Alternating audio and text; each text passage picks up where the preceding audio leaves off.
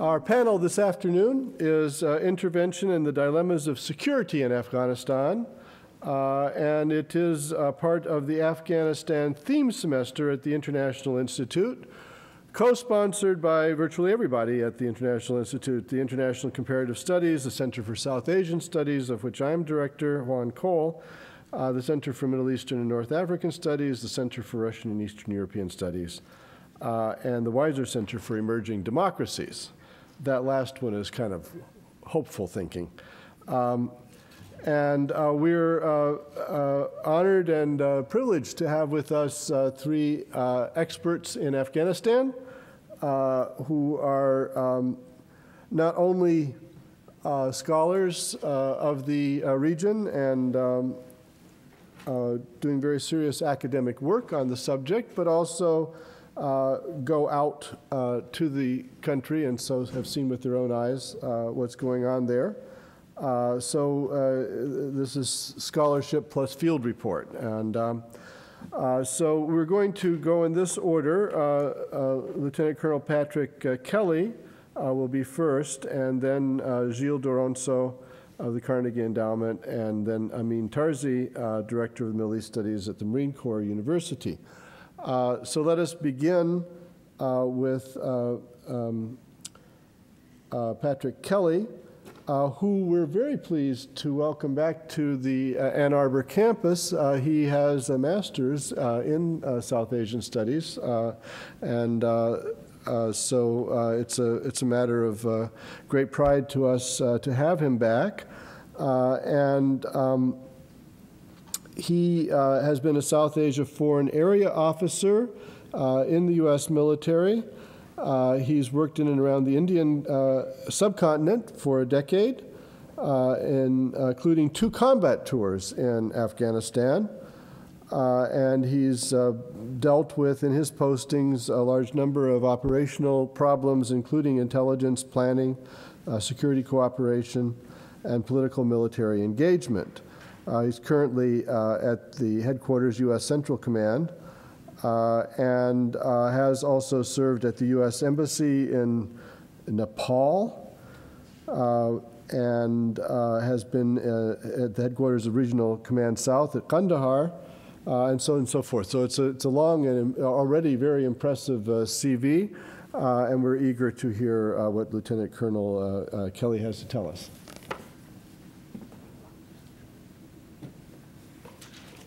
Thank you very much, and thanks for having me here.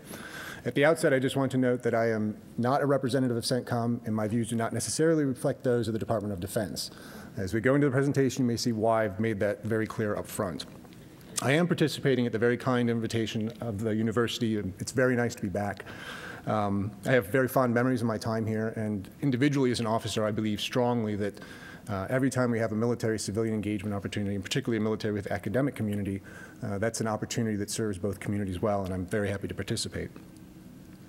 Now, I'm not an expert in South Asia. I've worked on it for a long time, and all I've gained really is Socratic knowledge. I know how much I just don't know.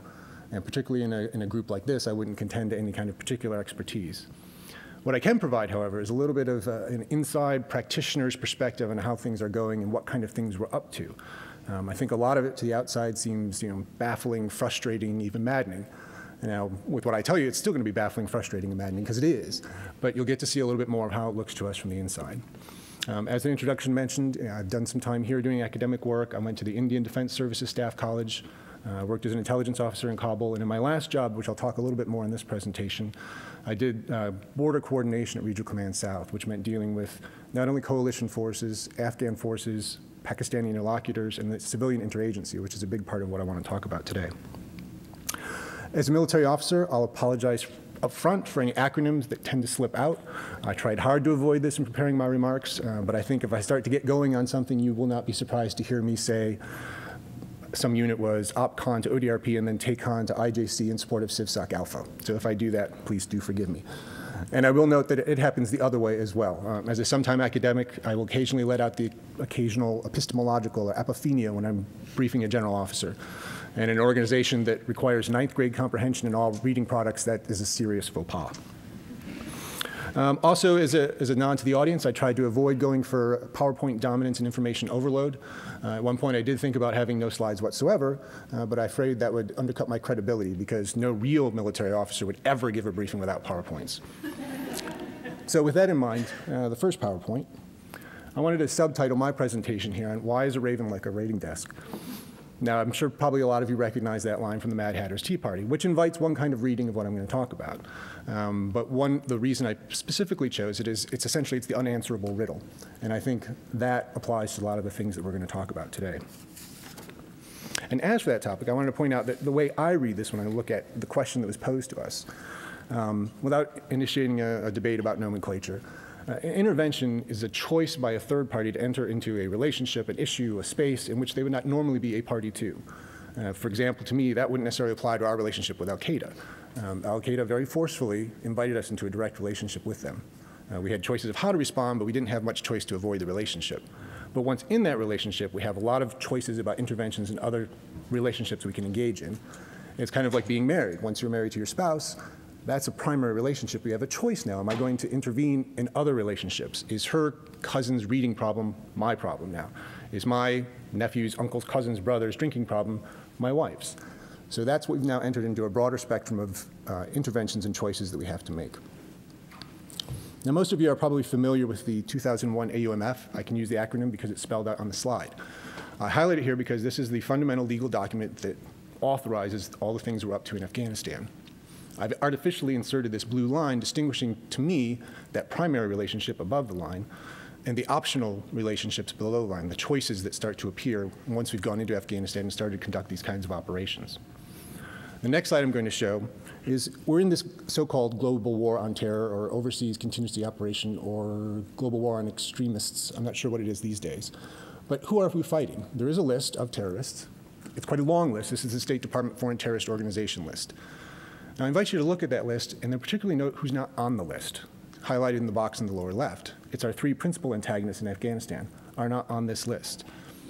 Now, there are, there's a number of different lists, I'll admit that, and different agencies have different flavors and there's different levels of classifications. But the fundamental point of distinction I'm trying to make here is generally sound. So with that in mind, what is it we actually intervening in? Is it just a geographic space? Are we intervening in an Afghan civil war that's been going on before we got there and will continue after we leave? Are we really just intervening in the India-Pakistan competition in which Afghanistan is simply a sidebar for their contest? We're monkeying around in there for a while and then we'll leave and it will continue. I'm particularly interested in what other things that we are looking at is from the, the United States government, because we're not just intervening out there. Our choices about what we've done in Afghanistan have impacts about what happens to us, who we are, how we're organized, how we do business. And I think that's something to think about over time. Now, at the outset, when we start to talk about culture and what we intervene in culture and the culture reflections on us, um, I will admit that we have a certain image problem within the military, and we're not quite the knuckle draggers we might be imagined to be, but I will admit that there's probably more Copenhagen and dip cups in a tactical operations center than would be in a faculty lounge. Now, in a mea culpa, I'll offer my personal favorite example about this, though it comes from Iraq. A friend of mine was briefing a general officer on his plan for the reconstruction of Mesopotamia. General officer bit on a cigar. Son, what's this Mesopotamia business? My friend said, Well, sir, Mesopotamia is the historical name for this area. And the general threw the report down and said, Take this back and do your research. Everybody knows this is Asia Minor. So my friends went back, changed it to This is Iraq, turned it back in, and it came back with a note from the general saying, Well done. And by the way, you were right. This is Macedonia. So he has ever since been known as General Macedonia. Now, that said, things are getting a little better. One of the unintended consequences of a long term conflict like this is you have a small group of people that continue to go back again and again and again. Uh, you hear much in the press about you know, less than 1% of America is shouldering the burden of the war. Now, that's a topic for a separate discussion. But in point of fact, the number is even smaller than that. Because all due respect to my comrades in the Air Force and the Navy, very few of them have Afghan dust on their, on their boots. And even within the military, it's a fairly small number of Army and Marine Corps units and people that go back again and again and again. A side effect of that is you'll have someone like a General Nicholson, who was the brigade commander in Regional Command East, then he was the director of operations in Regional Command South, then he was the director of the PAC-AF Coordination Cell at the Joint Staff, and now he's back as the deputy director of operations for U.S. Forces Afghanistan. And that kind of relationship filters down. And at my level, at this point, just about any AF-PAC kind of coordination event or planning event, I'm going to know half the guys there. We went to school together, we borrowed each other's cars, we've known each other for a long time. And part of that might just be an impact of growing old. That's going to happen. But I prefer not to think about it that way, but more that there's a developing coterie of people who really know what's going on. And so you'll occasionally still see a general officer say something like, well, why can't we just get the Afghans and the Pakistanis to use one map with a common border demarcation? Which I think is covered in Afghanistan 101 magazine, but it's gotten a lot better than it used to be. So with this mind of our mixed cultural insights, we find ourselves faced with choices over how and when to intervene in situations we don't really understand, and we can't really discriminate what it is that we're choosing between. One of the ones I want to talk about in particular is Abdul Razik, who's someone I had some personal experience with. Technically, Razik is, the, is an Afghan border police commander at Spin Boldak with a couple of hundred guys under his command. And this is along the main road. Um, you see Spin Boldak highlighted there. It's the, the main supply line between Kandahar and Quetta. He also happens to be a key leader amongst the Achakzai, who have a traditional rival with the Nurzai in the area, and as a, a consequence of that, has several thousand men under his informal command. However, aside from these kind of accepted facts, it's widely accepted that he is significantly involved in hashish smuggling. He also is involved in a significant corruption that's going on at the border. Now, what that kind of corruption looks like, uh, these pictures don't help you too much, but I'm looking here. This is the gate at the actual crossing where stuff goes across. One of the more significant things that goes on is, for example, auto smuggling.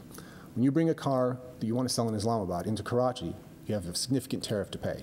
But if that car is only being transited through, Afghanistan, through Pakistan into Afghanistan, the fees are significantly less. Conversely, when you bring something from Afghanistan into Pakistan, the tariffs are less.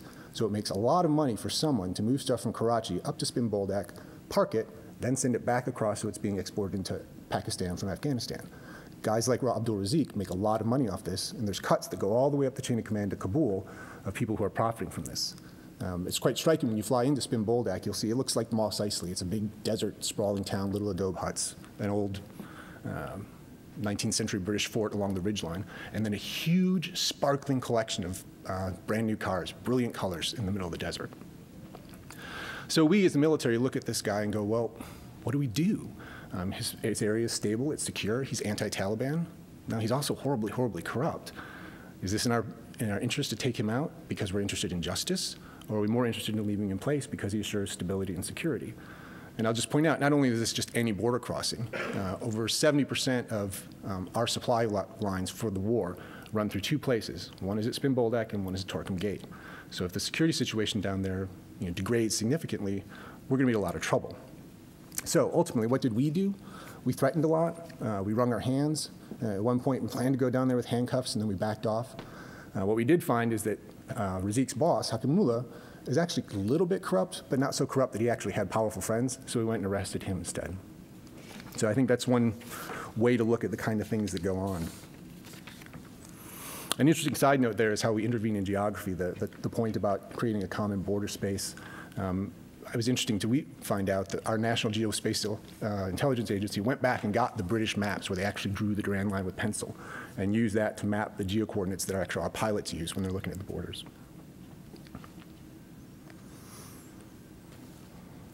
Um, recognizing our, our problems with trying to understand what's going on and having cultural knowledge uh, leads to another dilemma, chiefly our engagement with you.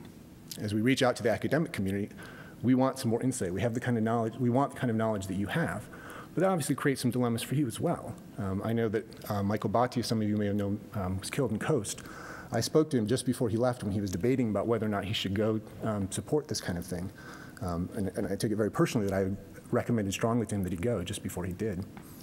And even beyond, you know, risk to your person, what does this mean for your community when you support us? At what point does uh, field research become intelligence collection? At what point does data analysis become intelligence? Um, and that's something that you guys have to carry as a burden uh, going forward. Above and beyond that, how much is it really worth? There are mixed results from the human terrain teams, largely because of difficulties in us dialoguing across our communities.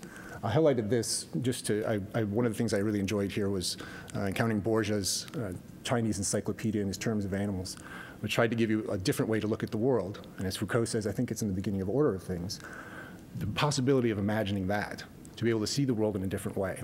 And if what if we in one of our intelligence centers could come up with a similar taxonomy of terrorists would be uh, something quite striking.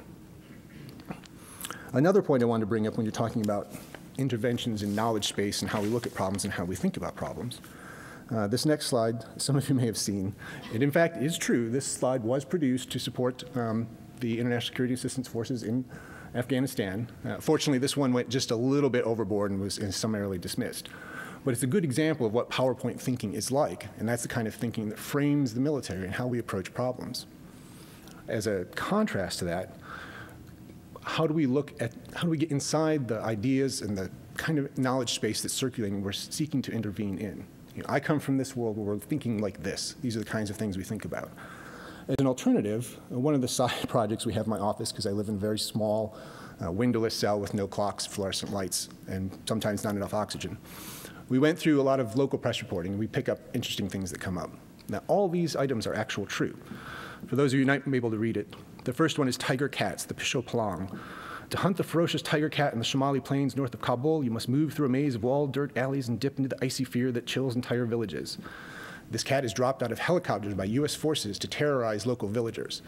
Now, the interviewer who reported this story asked one of the respondents, well, wouldn't that kill them? And he explained, no, they just fly the helicopters very low so the tigers can jump out. We also saw reporting about uh, monkeys being trained by the Taliban to attack U.S. forces. And in contradistinction, there are uh, counterterrorism monkeys in India. These things are real, I've seen these. And a report by monkey annoyance efforts that squirrels, flying squirrels, are the best way to terrify monkeys. Now, I bring this up, I mean, it's, it's, they're silly examples, but it's real press and it's a real way of thinking. And how do we approach that? Do we, do we just ignore it as irrelevant? Do we try and engage with it? Which approach is going to have the biggest risk of Orientalist uh, malformation of what we're engaging with? And aside from a silly thing like this, that kind of thinking is reflected in much of Pakistan, where there's a lot of media that covers, you know, the, the, attacks in Peshawar are really the Taliban being sponsored and supported by Mossad, the research and analysis wing, and the CIA. Now, I personally am not too aware of the jihadi American Hindu Jewish nexus, but in Pakistani thinking, it's a powerful thing. So, how do we engage that worldview to me is a challenge.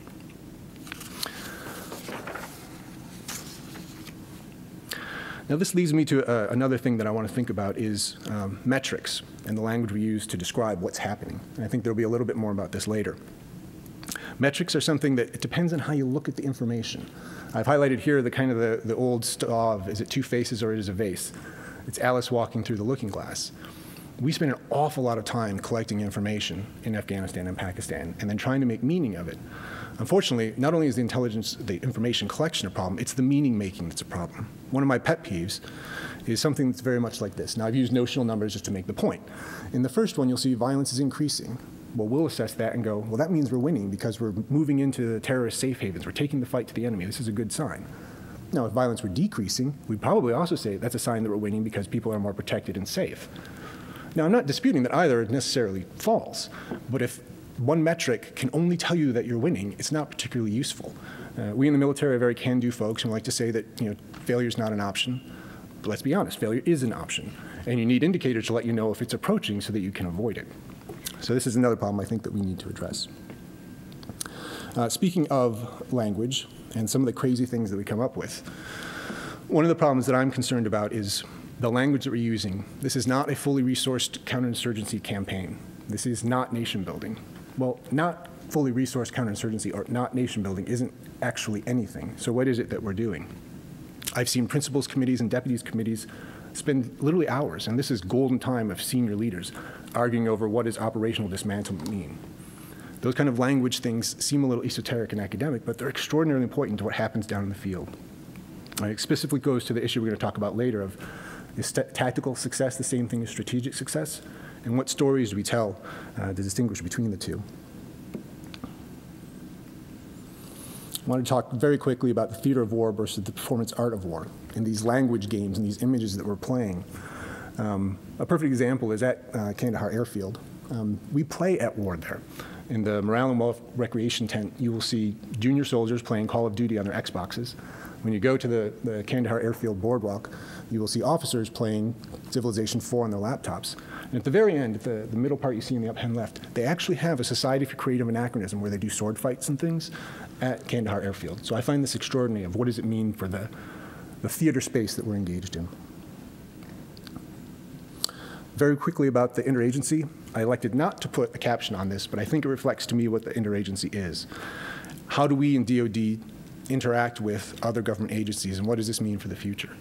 Um, there's a lot of militarization of things that have gone on. There's a lot of movements in how funding and authorities are displayed and articulated and interrelate with one another. And okay, Afghanistan is one particular example, but after 10 years, these things are becoming institutionalized. The distinctions between Title 10 money, which is actual operation money, and Title 22, which is security assistance money, and the traditional roles that DoD and the Department of State have in those two activities are changing. And I think more care needs to be taken at looking at those and what happens in the future as we come out of this war one day. And the last point I wanted to make was about time. There are interventions and aspects of time that influence this.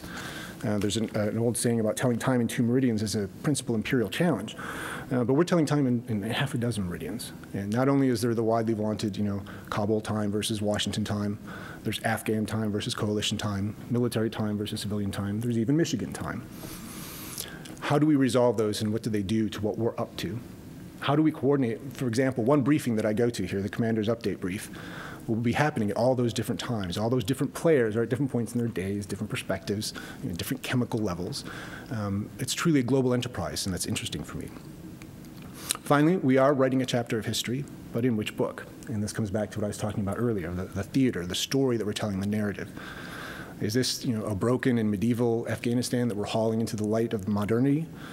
Are we really just another cycle of Afghanistan has had good times before, and we're just bringing it back to those good times? Or is this, as often cited, another chapter in the graveyard of empire cycle? I think finally, the, it's a little chestnut here on the bottom that ISAF also watches, but Taliban has all the time. Uh, but I'm particularly fond of that because I think there's some uh, certitude to it. And with that, I think I'm up with my time. Thank you very much. Thank you.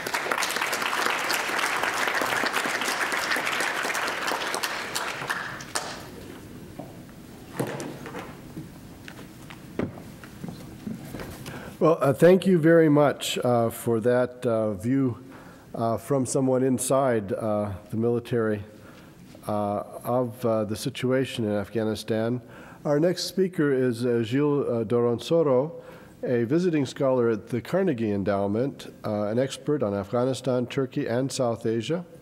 His research focuses on security and political development in Afghanistan, particularly the role of the International Security Assistance Force, the necessary steps for a viable government in Kabul, and the conditions necessary for withdrawal scenarios. Uh, he has been professor of political science at the Sorbonne uh, and the Institute of Political Studies uh, of Rennes. Uh, and he is the co-founder and editor of South Asian Multi, uh, Multidisciplinary Academic Journal of, of, of, of, that journal and of uh, Europe, the European Journal of Turkish Studies. Uh, he's the author of a big book, uh, Revolution Unending, Afghanistan 1979 to the Present, uh, a French predecessor to that, uh, and an editor uh, of uh, La Turquie contestée, Régime sécuritaire et mobilisation sociale, Turkey contested security regime and social mobilization. without further ado, Gilles.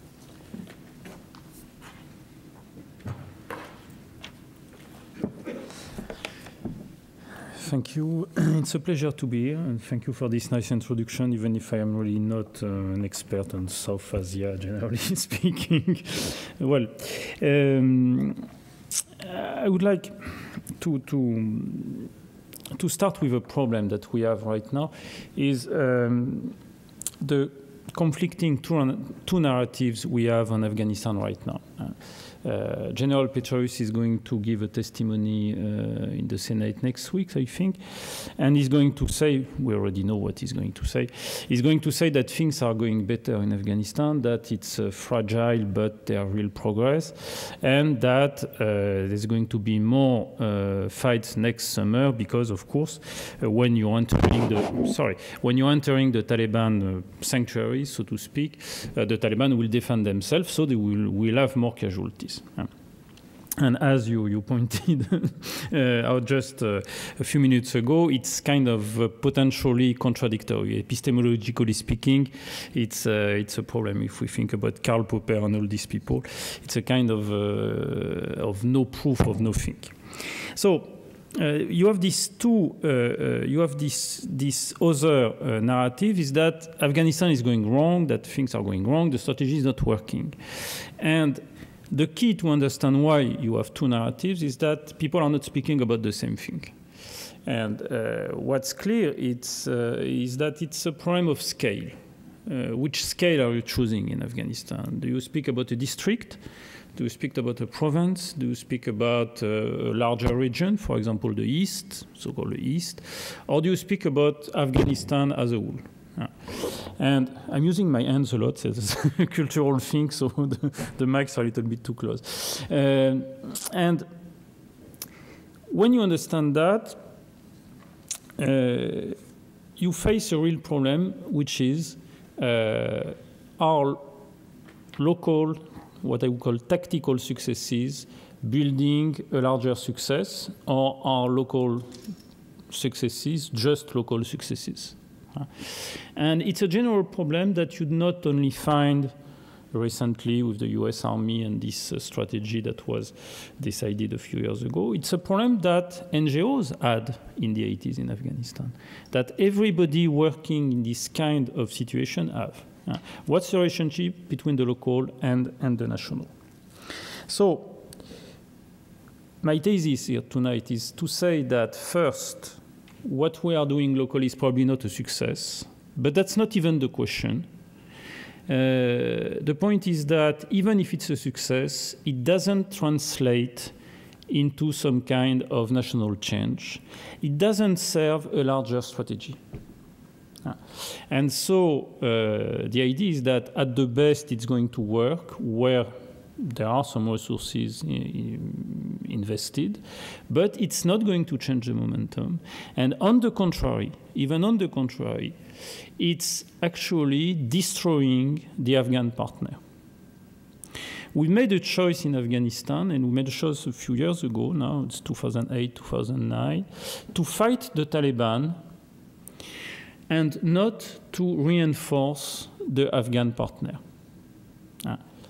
And this is, I will try to show you how precisely it's, uh, the, the choice is made at the tactical level without thinking, without people necessarily thinking about it. But it's the, the, the unintended consequences of the tactical uh, processes. And then, uh, if you don't have an Afghan partner, of course, the whole transition process, the, the whole withdrawal, is becoming uh, uh extremely difficult even, I think, uh, clearly impossible in the next few years. So we'll start with uh, uh, uh, one point that I think is central is that what we are doing is not what we are saying we are doing. Uh, for example, there is a, a, shift, a major shift since the arrival of General Petraeus uh, compared to McChrystal, who, who uh, what a bad idea to give an interview to Rolling Stone, but that's another story. Uh, there is a major shift. But officially, we have the same strategy. Officially, it's still counterinsurgency. Officially, it's still population centered.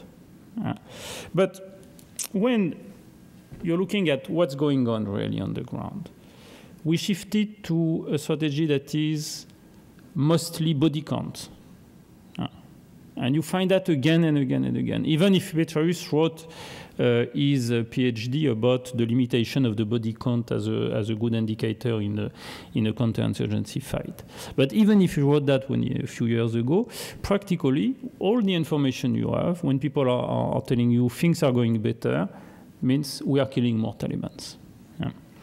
The second thing is that, and then of course, special ops are becoming the key. Uh, remember that in Iraq, according to certain sources, uh, probably around uh, 50,000 uh, insurgents were killed by special ops between the, the US and the, and the Brits. So it's, it's, it's potentially used a huge, uh, uh, very powerful instrument. In Afghanistan, it seemed that a few thousand, I don't trust totally, to be honest, the, the coalition's number, but 100, probably thousand of commanders we don't know exactly what is a commander, but commanders uh, have been killed the last uh, 18 months. Yeah. So this is what we are doing.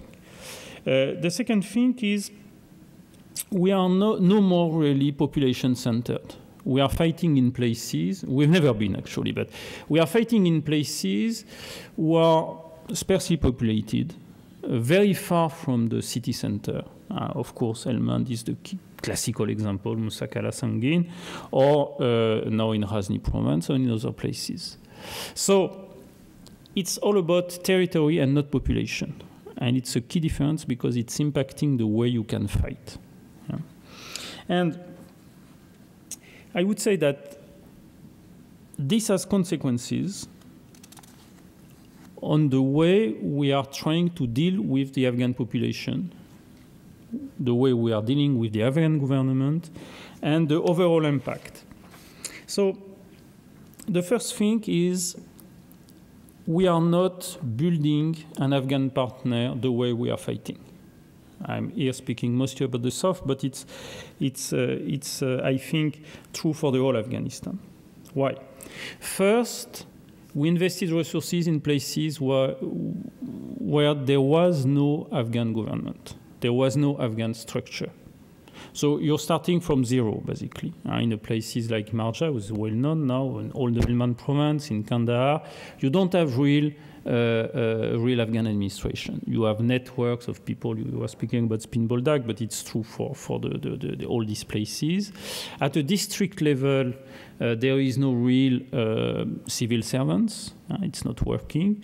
And the idea was to have a government in a box. Uh, the idea was that you, you, you, you bring the, the, the, the, Afghan civil servant from outside. and of course, it's not working because people do not want to come. When they want to come, most of the time they are not local at all. I mean, they even don't speak Pashtun in uh, Pashto in some uh, in some instances, and uh, they have difficulties to connect.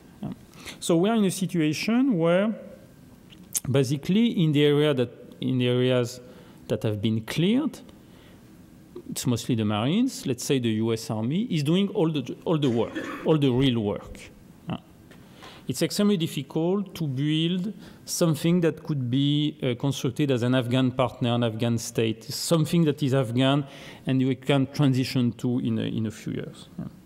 The second element is that we are using a lot of uh, militia. More and more we are using militia. So we are arming people and in Afghanistan, uh, it's a one one-way process. Huh? You can arm people, but you cannot disarm people. Really. That's uh, for obvious reason.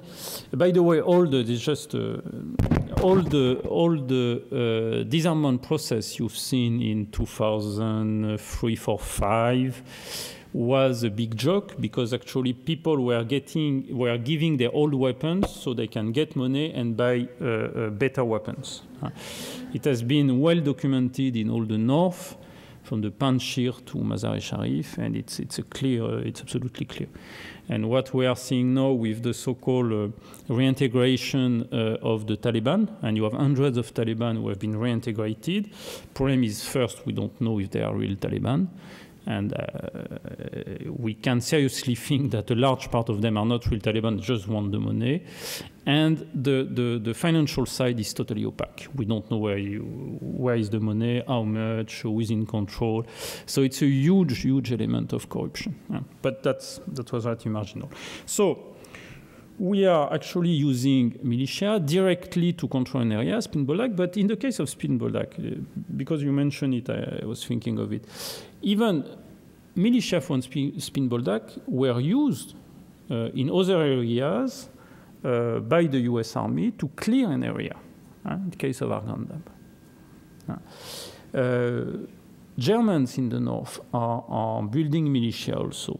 Why? Because they don't fight really. They have a lot of caveats, plus they, they don't know clearly how to fight. Uh, and they don't want casualties. So it's a lot of things that makes a fight difficult. Huh? Uh, when you don't know how to do it, when you have a lot of caveats and you don't want casualties, basically you cannot do much than protect yourself.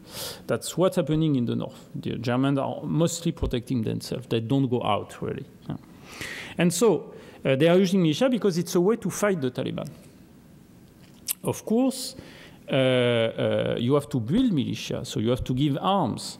And the people who are taking the arms, of course, are not necessarily very nice people. Uh, yesterday, the, the chief police of Kunduz province has been killed uh, by, uh, by Taliban, so suicide, suicide bomber. And uh, probably too, he was not very liked by, uh, by at least half of the population because there was also an ethnic uh, problem. But he was not liked by a lot of people in, in Kunduz. So we are putting people in charge without much control, in fact. except in a few places. And it's creating, uh, uh, of course, a lot of tensions.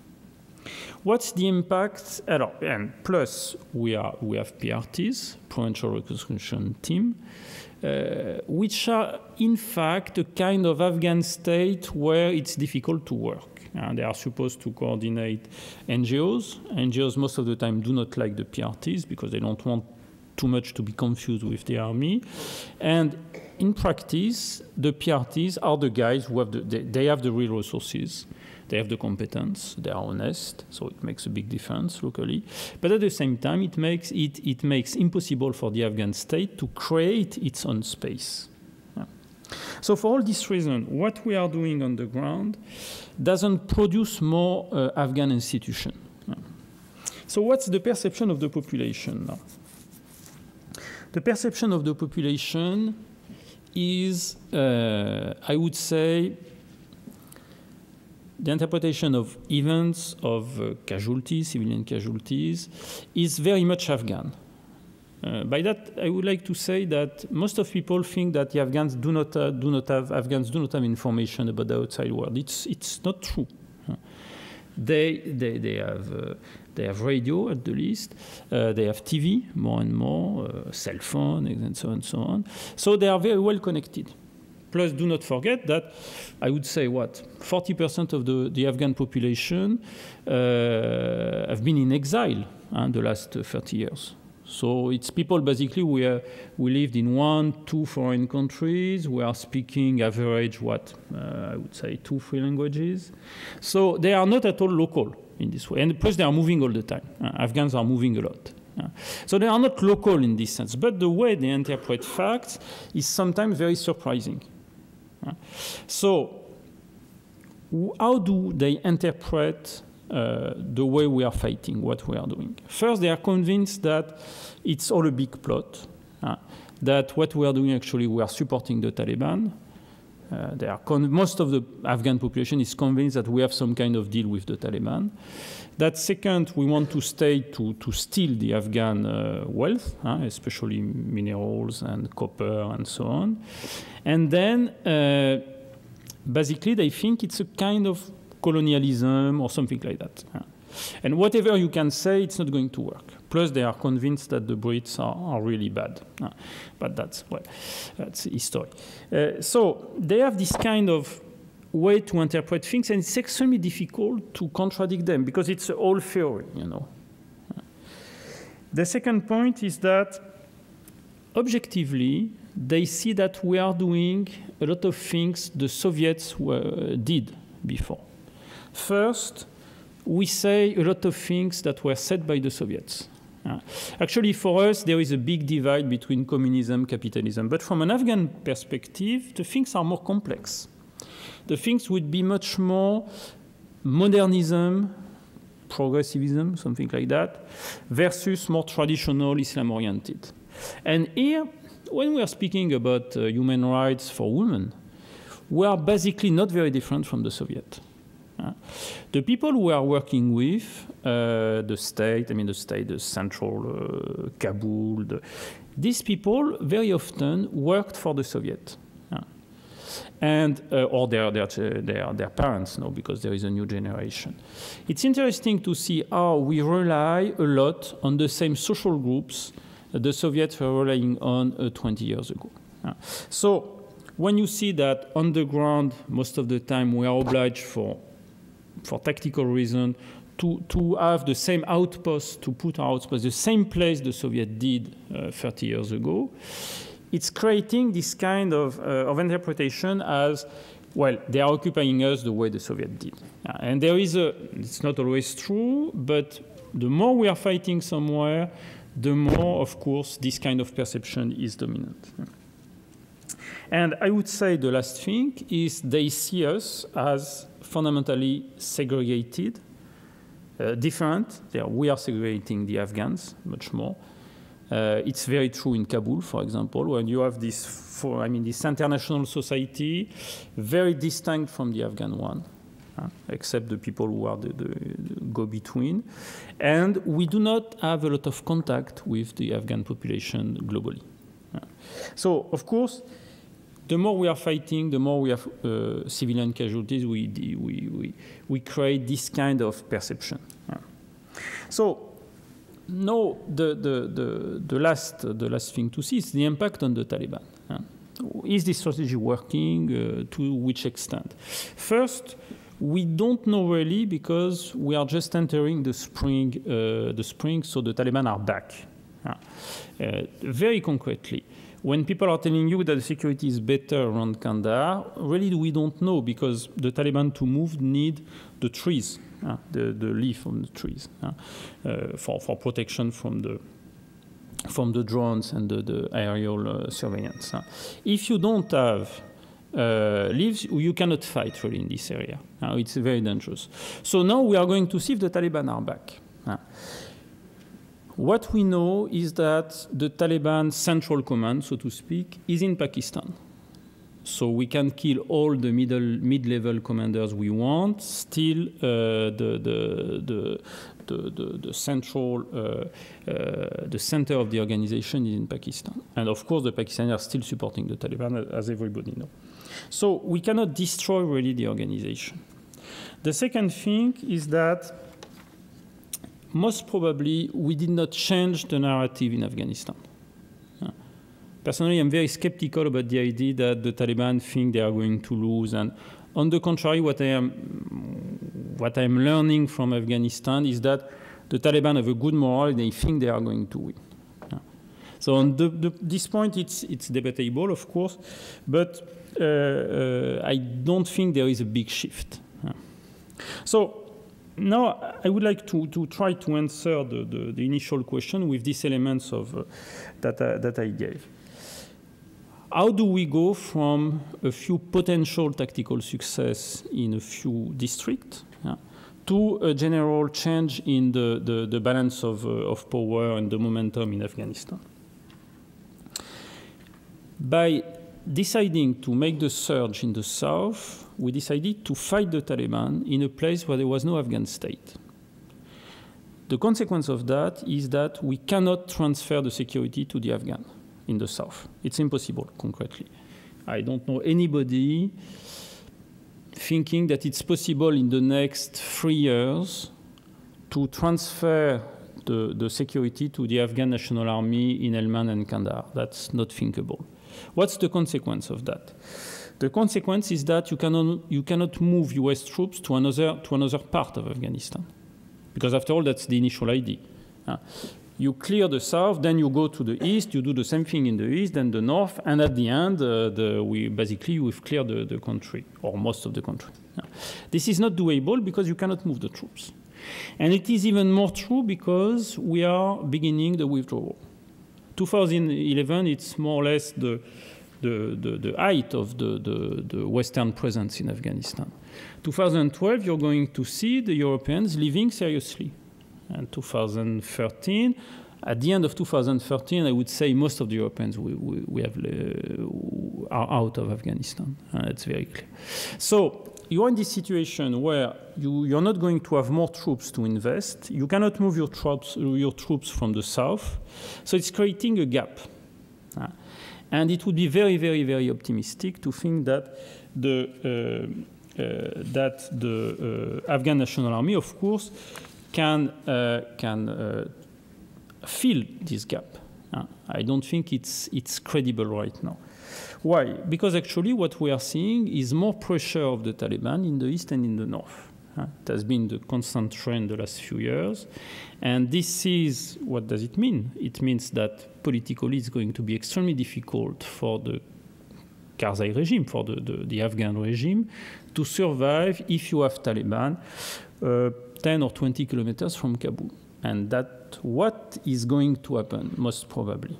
Why? Because the United States actually is not defending the Afghan-Pakistani border. You have seen recently that the Pesh Valley was evacuated. It's a clear signal that, yeah, it's a clear signal that actually all the border is open now. It was more or less open, but it's going to be a little worse. And that now the Taliban don't have a lot of, uh, uh, are not very far from the capital. And so you are going to have this huge push. The north is disintegrating slowly. I don't think that the Taliban are going to take the city whatsoever, but it's disintegrating, so it's difficult for the Afghan National Army to have a real positive impact. Plus, so far, there is no Afghan uh, unit able to, to fight uh, independently from the, from, the, from the coalition. So I would say what we are seeing now is this disconnect between a few tactical success and the general picture. So you can show, the, of course, the scale of what you want to say. There is a success in the district, yes, but doesn't produce anything nationally. And uh, if the Pakistanis do not change their point of view, uh, means if they continue to support the Taliban, I don't see how the overall picture could change in the next uh, two or three years. Thank you.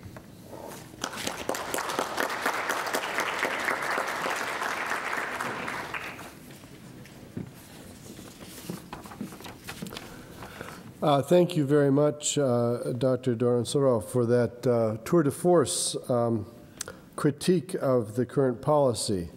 Uh, our final speaker this afternoon is Amin Tarzi. He's Director of Middle East Studies uh, at the Marine Corps University in Quantico, Virginia. Uh, he um, uh, supports the MCU by providing resident uh, scholars with expertise uh, in the Middle East and South and Central Asia. As well as representing the Marine Corps at various academic and professional forums. Uh, Dr. Uh, Tarzi earned his PhD and MA degrees from the Department of Middle East Studies at New York University uh, and uh, his latest works uh, are uh, The Taliban and the Crisis in Afghanistan, a co edited volume uh, with Professor uh, Robert Crews of St Stanford University, in which I have an article. Uh, and the Iranian puzzle piece, uh, Understanding Iran in the Global Context. Uh, that's the MCU Press, 2009. So, Professor Tarzi. Thank you. now you know why I'm here. Uh, jokes aside, I want to first and foremost say thank you for the organizers uh, and good to be here. And secondly, I want to say what the Lieutenant Colonel said. I am here on my own behalf and I'm not representing the United States government nor the United States Marine Corps. Uh, if I did that, I would be saying very little to you. Uh, what I think I have been set up very well uh, with the previous speakers. The first one spoke more about our own internal issues and understanding, uh, whereas the second speaker talked about strategy and tactics inside Afghanistan. But two points. One, he said that the Taliban sanctuaries are in Pakistan. Uh, and secondly, he talked about the withdrawal. Uh, we have our own plans, at least on partial withdrawal, but in Europe, it is more an issue of uh, a political issue, and it's happening in some major countries. Uh, I'll name for you countries that are right now talking very seriously about uh, large withdrawals. Uh, Germany will be one, Poland, uh, Canada, not in Europe, but in our neighborhood, uh, well, actually your neighborhood even closer than Virginia, and, and uh, also Denmark. Denmark is a small state, but it, can, it punches way above the waist in Afghanistan. They're in the fight big time. Okay, what I will talk about is the, the regional approach. Uh, my title is kind of provocative. It says six plus two revisit it, but let's even forget about the title. Uh, in the United States, uh, our president, President Obama, signaled a return to a regional approach as part of this main policy. Uh, for those of you who may not remember that, I will even take a few minutes of my time and read a paragraph from the speech that was given in March of 2009. It says, and finally, together with the United Nations, we'll forge a new contact group for Afghanistan and Pakistan that brings together all who should have a stake in the security of the region, our NATO allies and other partners, but also Central Asian states, the Gulf nations, and Iran, Russia, India, and China. None of these nations benefit from a base for Al Qaeda terrorists in a region that descends into chaos. All have a stake in the promise of lasting peace and security and development. End of quote. What I will posit here for you is a lot of those, not our NATO allies definitely, but a lot of those other countries named actually do benefit, if not from a presence of Al Qaeda, but from a region which is either chaotic or at least simmering. Most of them may not want a region that is boiling, but definitely some of them would want a region that is simmering. And I'll try to, at least in, in the time allotted to me, I'll try to explain to you why this is happening. What we have from that day until today are two things. One is something else, a new nomenclature in, the, in Washington, which is called AfPak. AfPak stands for Afghanistan Pakistan HANDS, or Afghanistan Pakistan Contact Group. And, and that basically tries to look at both Afghanistan and Pakistan in one issue. Neither the Afghans nor the Pakistanis and nor the Indians are happy about this whole issue. Uh, but that is one issue. The second one is a contact group. Uh, those of you have not been into it, and I know none of you have been, uh, it's not nothing happening. It's actually a trip that people go and not much action happens. Yes, they meet, but there's nothing else beyond that. Why?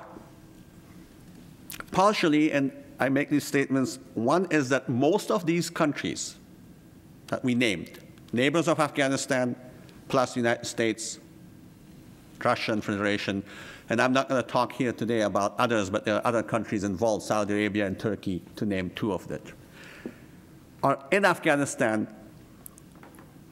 for motives other than Afghanistan. All of these countries are involved in Afghanistan for motives that are not Afghan-centric. This is not only today. This happens to have been the case even in post-Soviet invasion. And if Q&A, we can discuss that. I'm a Cold Warrior. I, I have been in involved in this thing since 1981 in one way or the other. So uh, and, and I'm a New York Yankees fan too. Yogi Berra said deja vu all over again. Sometimes I look at this thing and I say, oh, I'm seeing the same thing just happening. Then and now, a lot of these countries are involved in Afghanistan because of issues outside. That's one, which makes the strategy, as, as we heard before from the speaker before me, the strategy sometimes doesn't even sound good and makes the Afghans think, you know what, there's something going on. There's a conspiracy. Because when it doesn't make sense to them, and say, okay, there's something else going on. The second issue is, and this goes back to the issue of withdrawal, I traveled to that region with the exception of Iran and China, pretty much the rest of them. All the regional players are already calibrating their policies on post-ISAF withdrawal. That is a very important aspect that we have to look at. All of them, without an exception although they may work with us, they may sit with us, with ourselves and the NATO allies. And when I say us here, I mean all of us, ISAF countries, except when I say United States, I'll specify that. So they do sit with us, they contact with us, but they're all calibrating every policy on the day that we are withdrawing. So again, here we are talking on two different channels. If you would, we are playing from two different sheets of music. That's why the music sounds so horrible, and that's why the recipient, which is the Afghan, both the government side and the people are confused. Confusion in that part of the world creates conspiracy. Okay. Now, briefly, Pakistan. I'll start with Pakistan. I will leave, as I say, China and the Central Asian states for Q&A because I will not have time for that. I'll start with Russia. Post 9-11, where are you if you're a Pakistani? First of all, you are forced to abandon your allies, the Taliban. Let us not forget, until September the 12th, 2001, the Pakistanis supported uh, the Taliban fully. It was only a choice for them to either go against the Taliban or be part of the problem that they shifted. That's one.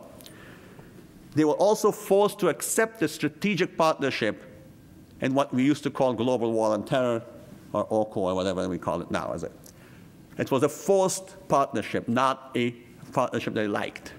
It's important to note these issues. What has happened since 9 11? Or since the collapse of Taliban, let's put it that way. Since 2001, when the Taliban collapsed, December 5th, if you would, when his Mullah Omar apparently took a motorcycle and crossed the border. What has happened? We, the United States and our partners, are aiding a potential enemy in Kabul. We had a hint about the Durand line and issues of Pakistan. Pakistan and Afghanistan have never recognized each other as states. From 1947, when Pakistan was created, the Afghans took the first shot, and up to today, they both look at each other as a playground for the other. The Afghans literally claim half of Pakistan. What is today called the Khyber Pakhtunkhwa used to be called the Northwest Frontier Province, plus FATA, federally administrated tribal areas, plus Baluchistan. This is part of the Afghan narrative, it's in the Afghan history, it's in the Afghan storybooks. A project that we lead in our, our center, where we're looking at textbooks in Afghanistan right now. History textbooks from fifth grade to ninth grade. Every each one of them talks about this as part of Afghanistan. If you teach your children that that's your country, that's in your mind. Pakistanis look at Afghanistan as a place to counter India, always. It's not in this relationship for Pakistan to see Afghanistan as a nationalistic country, which is building its own army, and India's back, is absolutely against the strategic values and strategic thinking. Therefore, go back to my first question, Pakistan does not want Afghanistan to be stable. Period. That's why the Taliban are still there. Yes, they're, you know, it's a very interesting relationship. On one hand, they support us, on one hand, they do not. It is, in the Greek sense of the word, a dilemma. Two choices, one, none of which are good.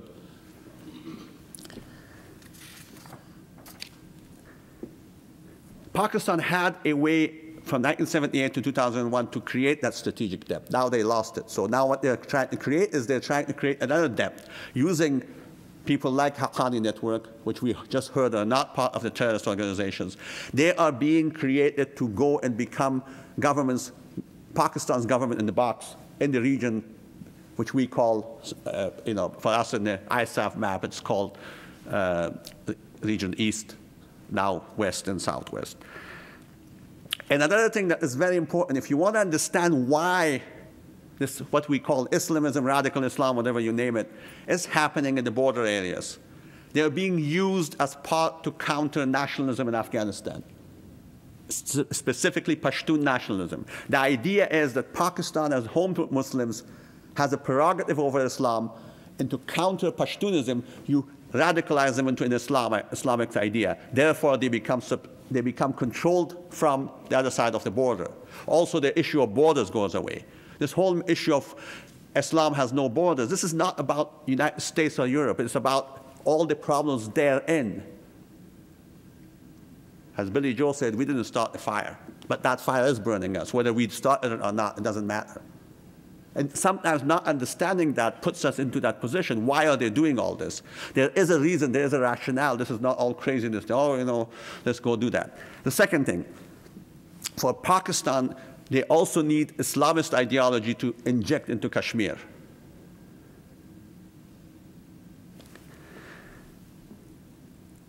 What is going on inside Pakistan today? Al Qaeda and Taliban. There is a, especially since 2005, but 2008 especially, a realization in most circles of Pakistan that the insurgency is threatening Pakistan itself.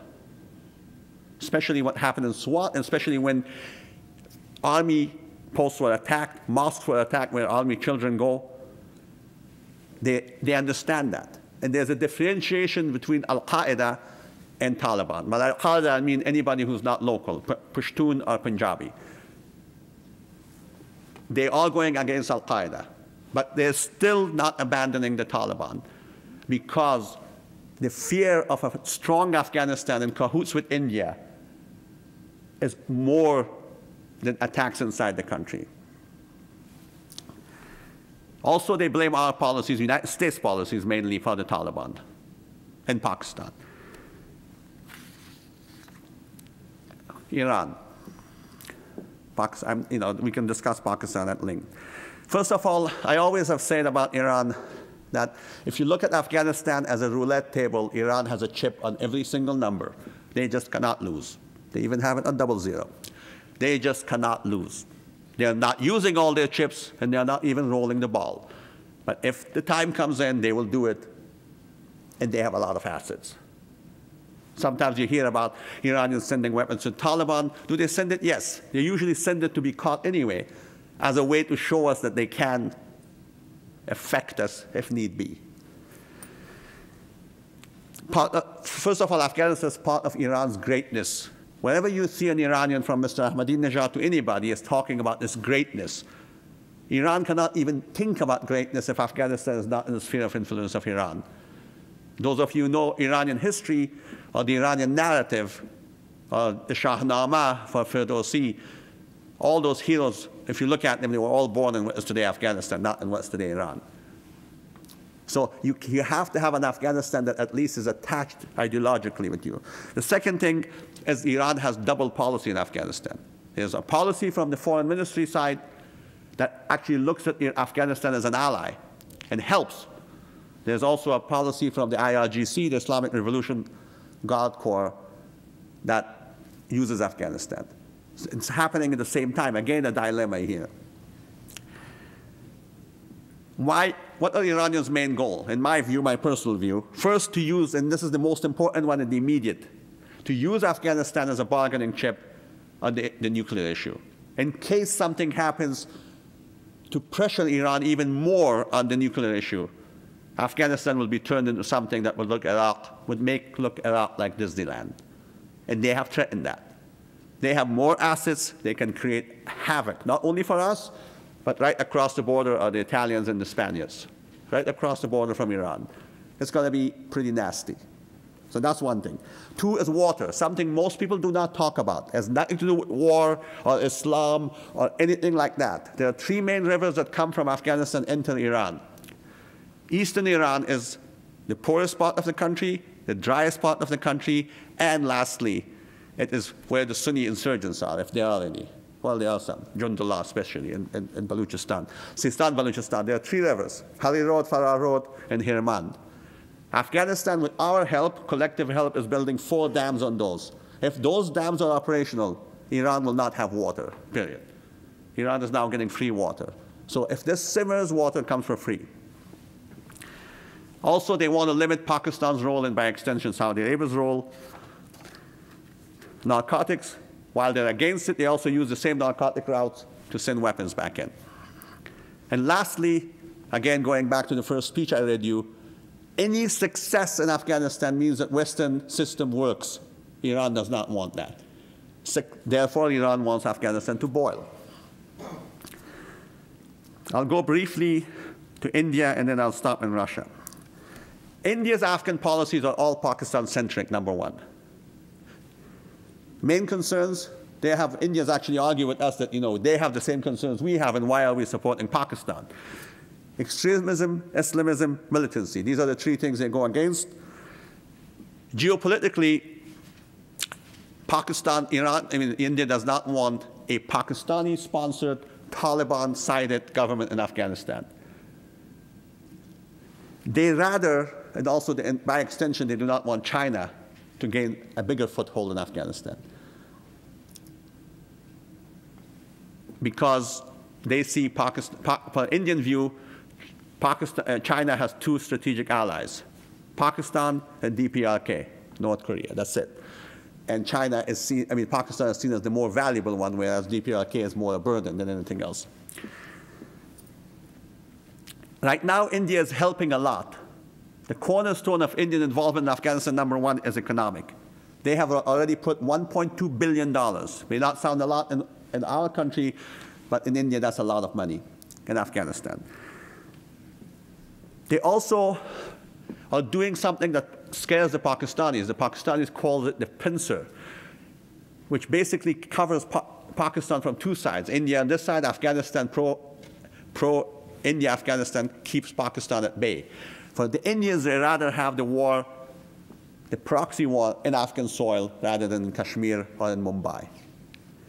Therefore, I told you initially that most countries involved have other views Indian embassy has been hit twice. They have lost uh, two gen brigadier generals and a deputy ambassador. It will keep on will happening.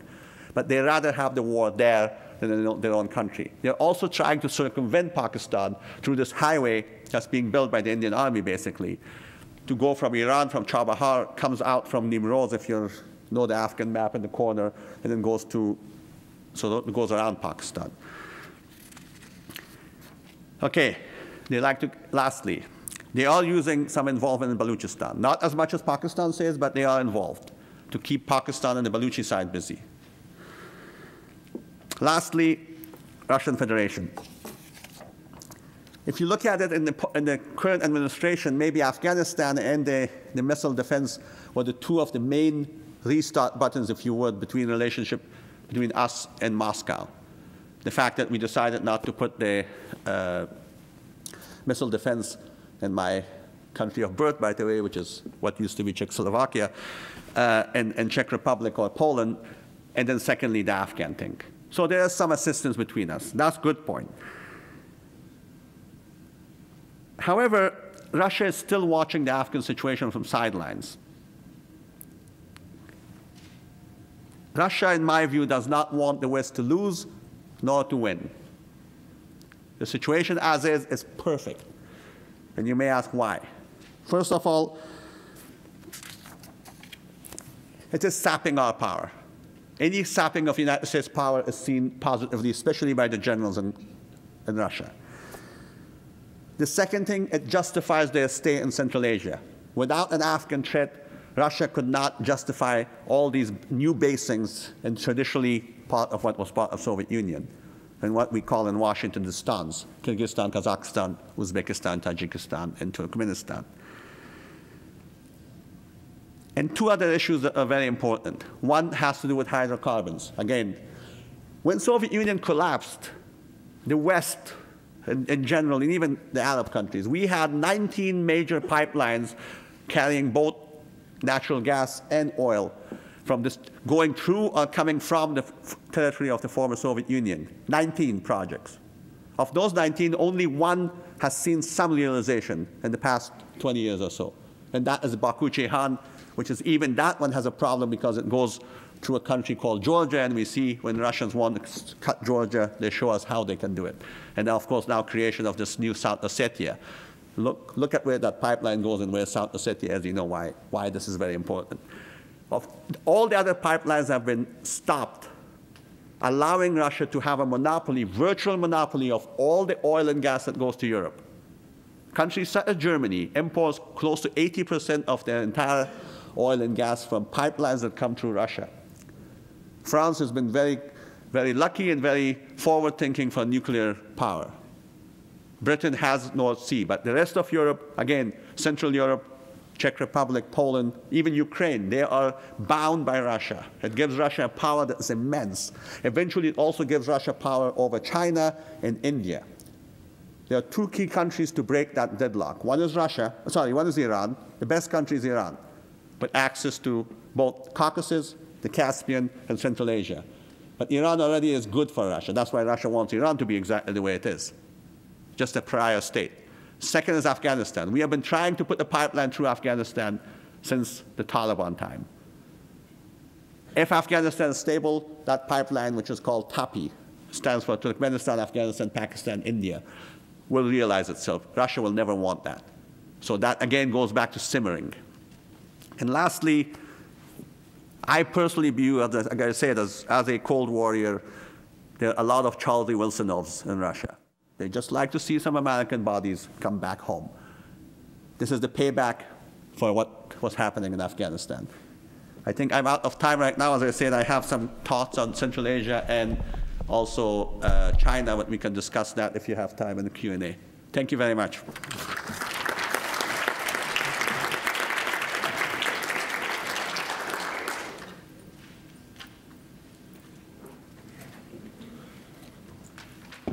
Well, uh, thanks so much, uh, uh Professor Tarzi, and uh, I'm grateful to all of the uh, panelists. I, one of the good things about having panelists who've had something to do with the military is that they're all very much on time. so we have we have plenty of time for discussion and Q and A. Yes.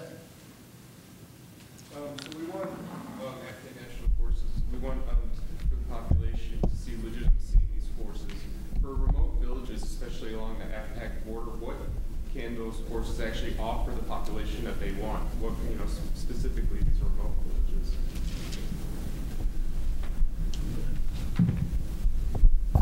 Go ahead, you first. Um, hmm. it's a very long border, so depends where. Uh, but um, if I understand you, your question correctly, uh, you think that uh, the, the, the coalition forces could offer something to the villages on the border, or the Afghan National Army? The Afghan National Army. Well, actually, it's the, the situation is a little bit different. In uh, most of the places, the Afghan National Army cannot go there. It's too dangerous. It's it's impossible to to to keep their ground. You know, all the all that is north of Jalalabad, it's uh, it's uh, forbidden territory. It's too dangerous, basically. So there is two solutions where you you have relatively large outposts and you're going to, to have a few rockets uh, falling on the base uh, every morning, basically. But you can you can keep your base. But if you want to go uh, closer to the villages, you just cannot cannot be there because it's too dangerous. So the question is more which part do you keep and which part do you evacuate? And right now, it's uh, evacuation of I would say 80% of the border is totally open and the Afghan National Army is not going to go back there, which actually the right the right question. Your question is interesting because it means that even the end game that we are aiming at now means the Afghan National Army, uh, the, transition to the Afghan National Army doesn't give us the security of the Afghan border. Means already you have Lashkar-e-Taiba guys or even Al-Qaeda coming back to the region where we have evacuated or where we are not present. So the question, that's why the current strategy, even if everything goes perfectly well, means that Al-Qaeda and Lashkar-e-Taiba, this group can come back to Afghanistan, at least on the border. Uh, if I may, I, I the two, two issues that we need to look at. By the way, I wrote my dissertation. It's called the Judicial State, and I think it's going to be published anytime soon. It's about Afghan judicial state system. I wrote it way before all this happened. The main question in Afghanistan, in my view, if you want a state, loosely governed, loosely centralized, whatever, it has the concept is not security but rather justice. Justice comes first. And the notion of justice that somebody could actually keep justice and you know enforce it when need be gives legitimacy. So I think in the case here for Afghanistan, my personal argument would be more for police rather than army. A smaller army, a larger police force, and a larger border police force. So what the army could bring, and under the, and I agree right now the situation looks more pessimistic than optimistic, but if you would look at it in a, in a, in a better scenario, let us say we go back to 2001 and Bonn and, and redraw it, it will be some force that, in case of need, would implement justice. So in the border areas too, if somebody comes to the government, not the government to, goes to them, because the African ju justice system in the old days, how it worked was they were a three-tier justice system. You had local justice, informal, you want to call it tribal law, customary law, whatever you want. That operated, but there was a way, if you would, in our system, maybe an appeals court, which would go to two other courts, either a basically a law that was based on the French law, and by the way, the African constitution was written by a Frenchman, Monsieur Fougère, and who also wrote the Moroccan constitution, by, just as a sidetrack.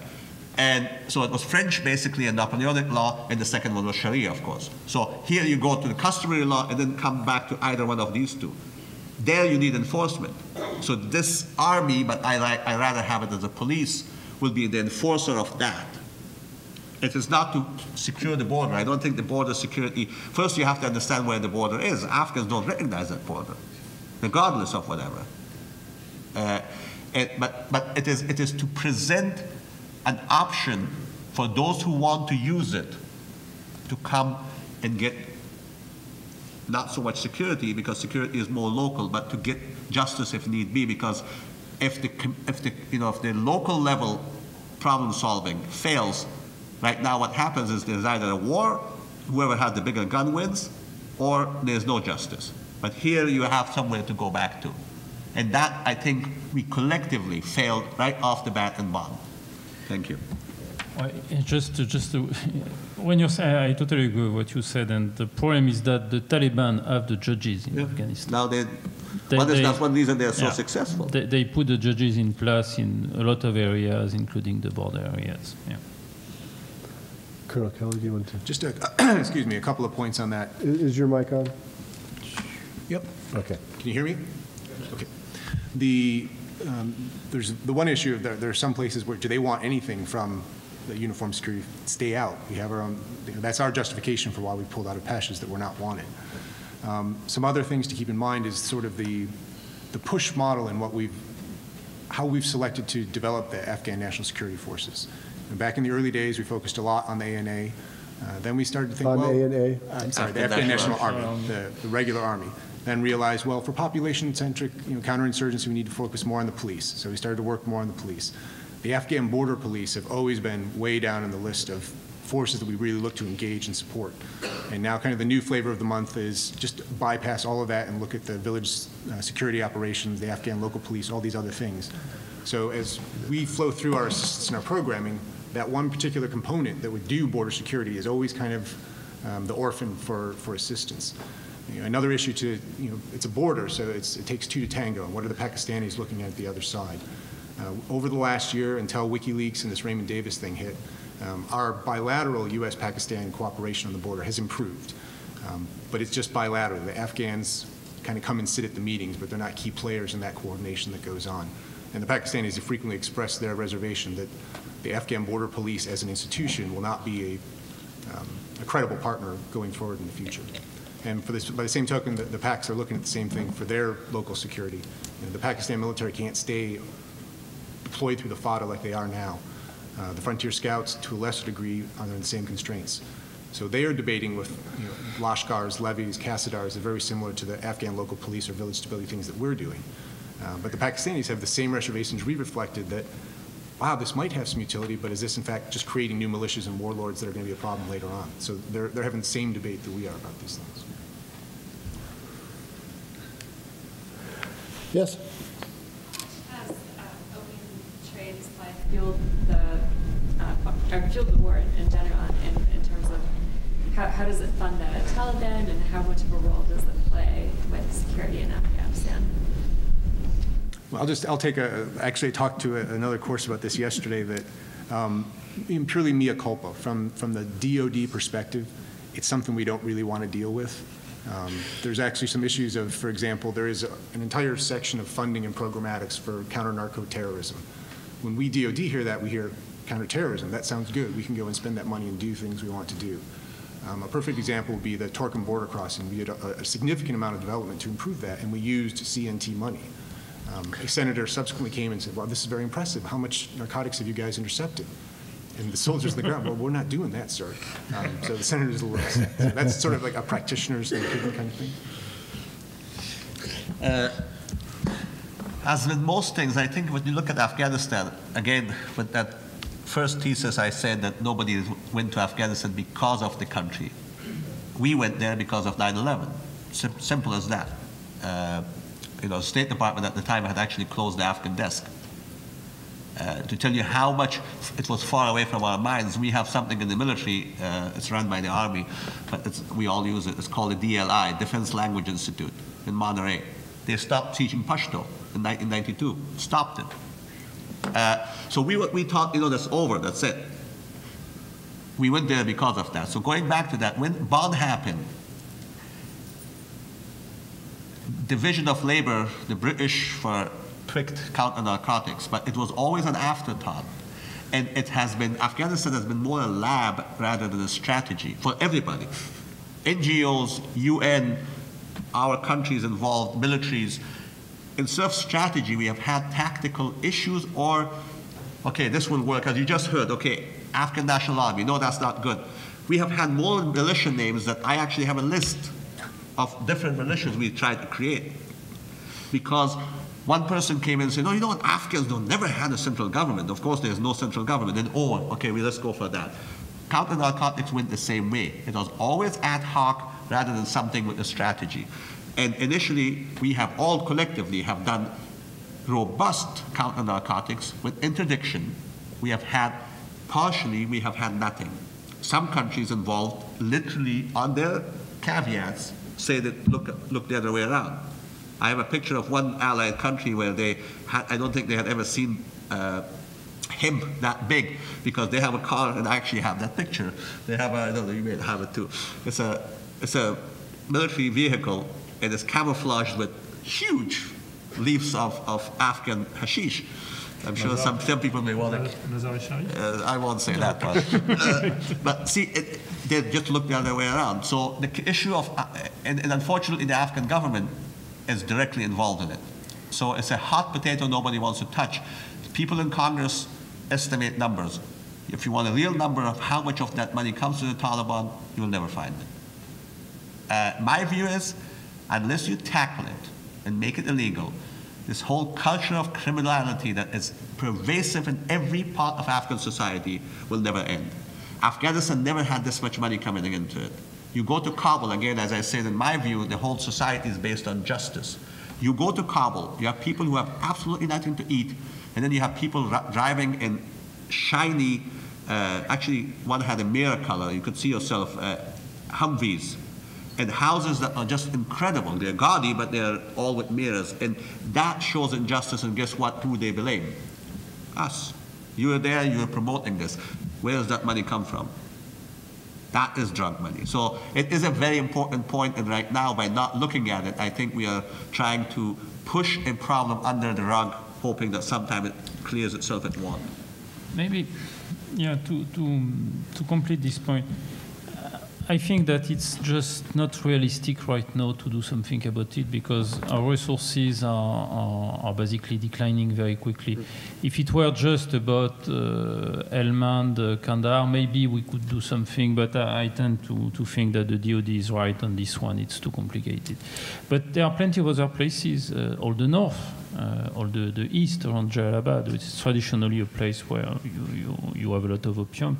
And all, in all these places, it's just not technically uh, not possible to, to, to eradicate uh, the cultivation of opium. I don't even speak about hashish, because hashish is not, well, it's a lot of money, huh, but, uh, well, uh, it's just not possible. And what we are going to see we are going to withdraw, so you will have less and less places where you have any kind of control, and so the opium and the hashish is going to be more, more and more important in the next few years.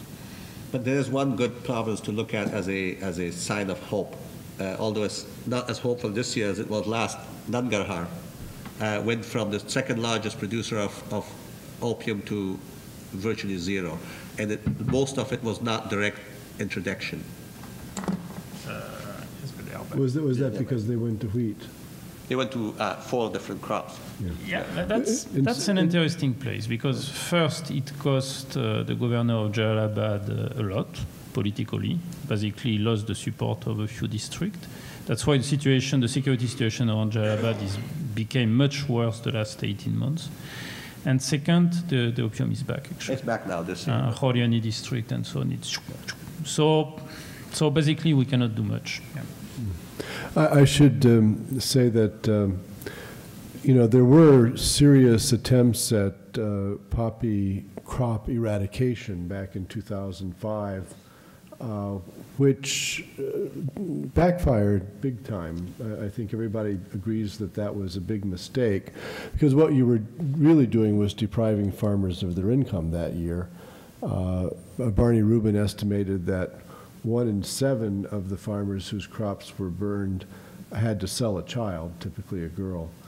Uh, so um, that didn't make us any friends, uh, and and of course it didn't actually succeed in eradicating uh, the the, the uh, poppy cultivation, uh, and uh, so interdiction of the uh, of the of the of the uh, heroin is is probably more important uh, or a better way to go.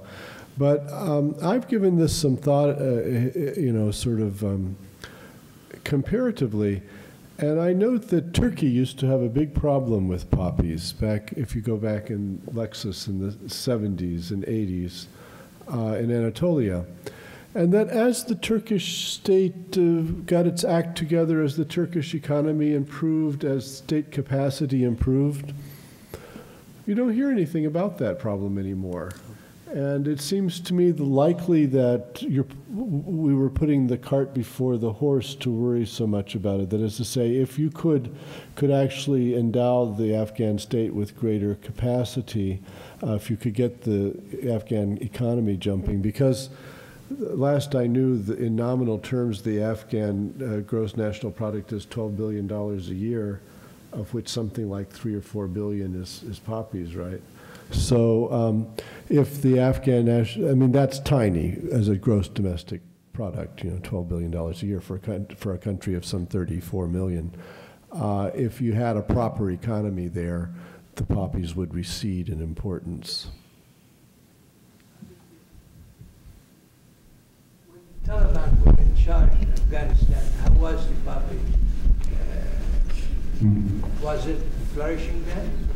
No, uh, They- they- should should they destroyed- that, yes. yeah, They destroyed the, the book. They Actually, destroyed it, right? yeah, yeah, seriously, yeah, yeah, yeah. I- Actually, I, I was You were very. there then, right? Sorry? You were there then? Uh, not all the time, but yes, yeah. Some of it, yeah. And I did not check personally, but no, the, the idea I was extremely skeptical because the, the, they put a mullah in charge. I mean, everybody was a mullah, uh, but uh, I mean, they put a mullah in charge of the counter, uh, I mean, counter narcotics, yeah. And the guy was uh, not very, I mean, not very impressive. But at the same time, uh, he was extremely honest. So uh, in Kabul, you had, uh, I mean, real honest people. And the deal was the Taliban were thinking, okay, the Westerners are interested in three things: women, Al Qaeda, and drugs. Ah. And uh, for Al Qaeda, it's a bit complicated because Bin Laden is a good friend. Uh, women, it's out of, I mean, it's not on the table. So if we want international recognition, there is one thing we can do is drugs. And so they did it.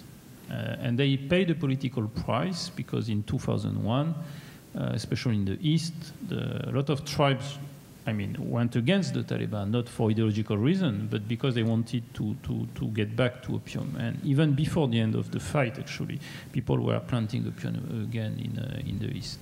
So, yes, it's doable. You, have, you need a state. It's doable, and you have to pay a political price.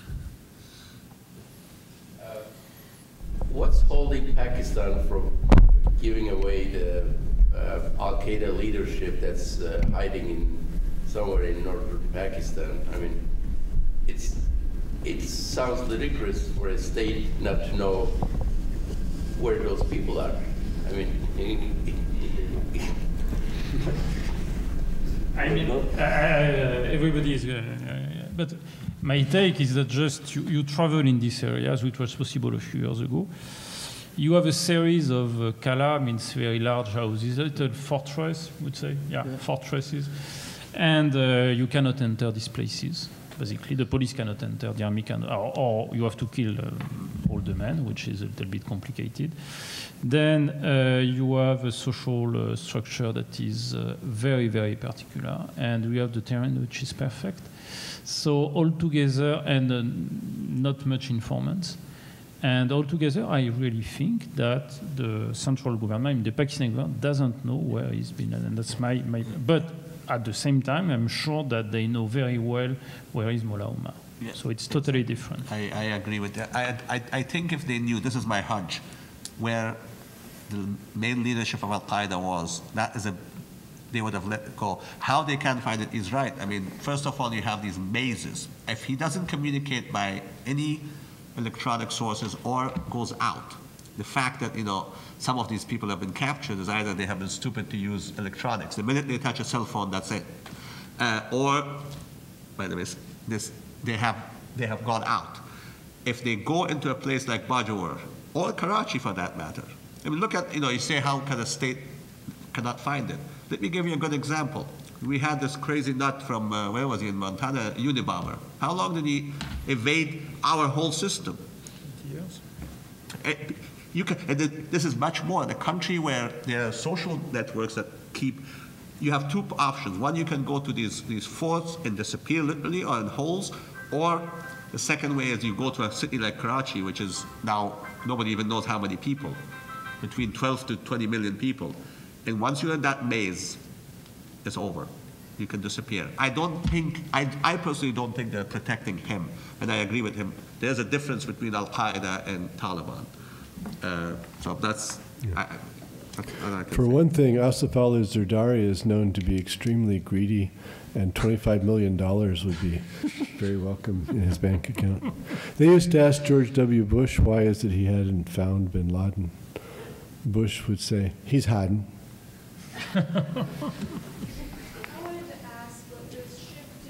Each priority for each um, group of armed militia or armed police? Or uh, armed people, one way or the other, as we keep changing our mind that it needs to be militias or it needs to be police forces or it needs to be border guards, et cetera. What happens to the people that you were training as militia? What happens to the people that were training as police? It seems to me you're just setting up as one very, very big mess with a lot of weapons and bullets. Well, you, you are hitting a very important question. I, I always say, I even have created an English word. You cannot empower somebody and then disempower them. I know there's no English word of disempowerment, but you can, you can give me that word. Uh, throughout the, as I said, you know, I, I was quoting Yogi Berra. Uh, I know he's not, you know, in Detroit, Yankees are not good, but he said it. It's deja vu all over again. We, we collectively armed the same people that now we, some of them are create, rulers of Afghanistan, some of them we're fighting today, in order to, at the time, kill Soviets. The idea was basically to bleed the Soviet Union. As, as uh, uh, Charlie Wilson would say, I will not be satisfied until I see 60,000 funerals in Leningrad. The idea was to kill Soviets in that. And there was a whole different idea that Afghans, by and large, are not attached so much to the central government. If the central government becomes even communist and doesn't affect them in their houses, so what? So radicalize them. Thus, the people like bin Laden and crazies like that coming in there and radicalizing to, as so-called Brzezinski doctrine, the former national security advisor of, of it actually started with President Carter, believe it or not. Uh, it was just that people during the Reagan administration, it just took off from there to hurt the Soviet Union in soft belly. That was the ideology. And guess what? When we left, we left because of two major issues. Number one, the Soviet Union collapsed. We didn't think that. We thought it would be just bleeding. Well, they collapsed. The second thing was, of course, Saddam Hussein decided to have a 19 province. So two new things happened. A new world with Soviet Union collapsing, Central, Central Europe opening, and then secondly, we are being invited for the first time to go defend a country and an area which is very important to us. With those two cases, we left Afghanistan. I remember I wrote something way back in there called Afghanistan the Cold War junkyard.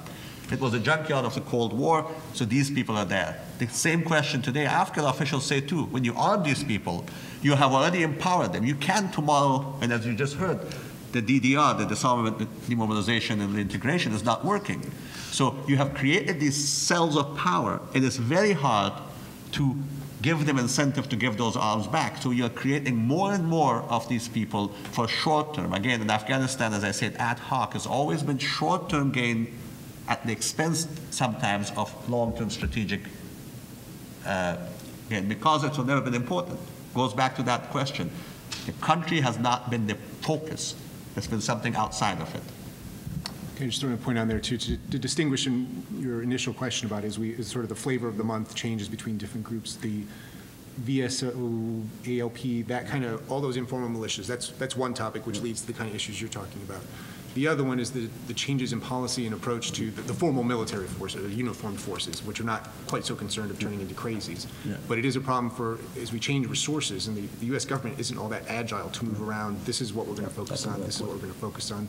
And it also adds to the point I was trying to make about metrics. I mean, I was getting a little philosophical about what does a metric mean, but there's the, the, the functional thing of almost every year we change what the metrics are, because now we're looking at this, or now we're looking at that. Well, the whole point of a metric is to watch it change over time. So if you're looking at a new metric every time, you, you can't tell what the trend is really. And that's the other issue. That's a good point. Yeah, and just to, uh, you know, the PRT is this provincial reconstruction team.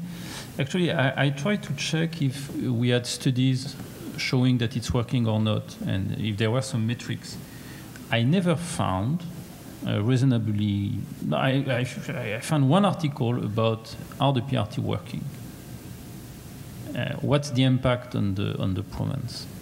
there is no study. So all the metrics are changing all the time, or on the key points, you don't find any metrics. But to, to come back to your question, first there is the historical depth in a way. Uh, when you were speaking about Spin Boldak, uh, actually, uh, it was the Soviet used a militia in the same place with the same tribe, and the, the current chief is the son of the, of the you know, I mean, the, for the people, it's, I mean, it's, it's the same guys actually. The father was working for the Soviets, the son is working for the Americans. It's the same tribal, uh, tribal group. Huh? So, uh, more or less tribal group because the Norzai are kind of, uh, kind of messy if, I, if nobody is Norzai. You know? so the second thing is that we know how to disarm in theory. Uh, but you have to be neutral to come from the outside and to do it quick and to do an amnesty at the same time. Exactly what we, that's what the Taliban did in 94, 95, 96 in the south. You arrive from the outside, you say, okay, I'm neutral, I don't want to know who killed who in the, next 10, in the last 10 years, and I'm taking on the arms. And people, uh, and people give the arms, actually. That's what happened. Then the problem is that we have chosen allies everywhere in tribal groups, in social groups in Afghanistan. So nobody can disarm because everybody knows that there is a dominant group allied with the United States. This group is not going to disarm because if disarm, the other guys are going to, to get after them. So the problem is that we are never neutral in a situation. If we leave Kandahar, our allies, the Iraq tribes basically, are going to pay the price. It's a very huge price in this area. So that's where we, are, we cannot disarm the, the place, basically.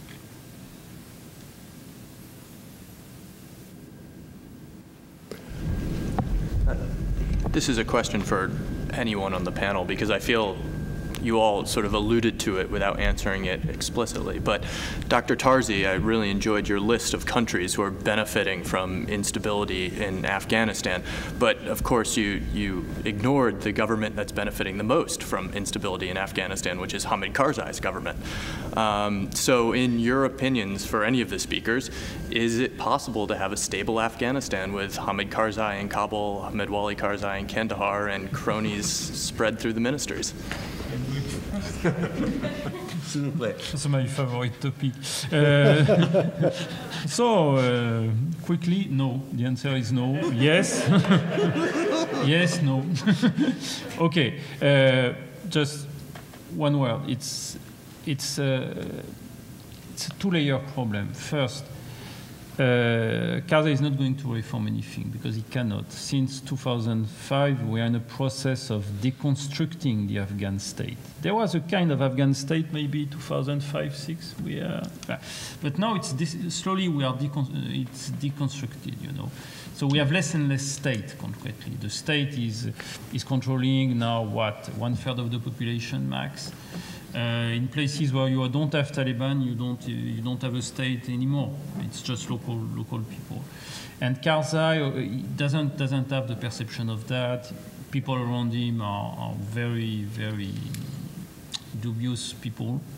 And uh, not the fact that they are corrupt, that's not the big deal. That the fact that they, they are not building a center and they are playing a peripheral interest. So no, there is no possibility. That's why the transition is, is basically not working. Uh, you have seen the list of the places who are going to transition.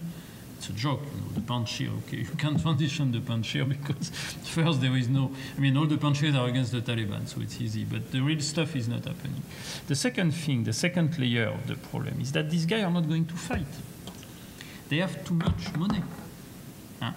Uh, all the political elites in Kabul, uh, these guys, maybe they fought against the Soviets that they were young at that time. No, they are they are a little bit older. They have their money in Dubai, or for Rashid Dostum, probably much more in Turkey or Uzbekistan. His horses, at least, are in Uzbekistan. Uh, and these guys are not going to fight the Taliban. If we leave these guys, they are not motivated. They are no ideological uh, ideas. I mean, it's just they are here to make money. So first, no, they are not going to reform. Second, they are not going to fight. No, no comment? Yeah. one, one good point on your, on your last point about the, the power players who were there. A, a counter threat finance analyst was talking to us and said he was looking at the banking issues and said, everybody has an exit plan for Afghanistan but us. Yeah, exactly. exactly.